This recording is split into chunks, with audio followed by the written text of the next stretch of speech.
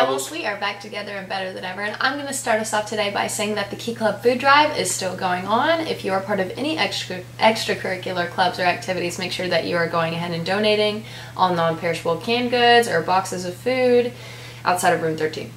Uh, the Highland Classic is going on this week at the Ale Hudson. Our teams will be playing tonight and Saturday. Saturday is the last day for the Highland Classic, so make sure you guys show up um, and come out and support the Rebels. The alumni games are Saturday at 6. That is a super big deal. So if you want some laughs, you want to go out and have a good time, go to the alumni games on Saturday. Also, um, there's a new Instagram account that we need you to follow. Yeah. Uh, that is the HHS Media, HHS underscore Media underscore 64. 64. All right. With that being said, have a great day, Rebels. And remember, it, It starts with us.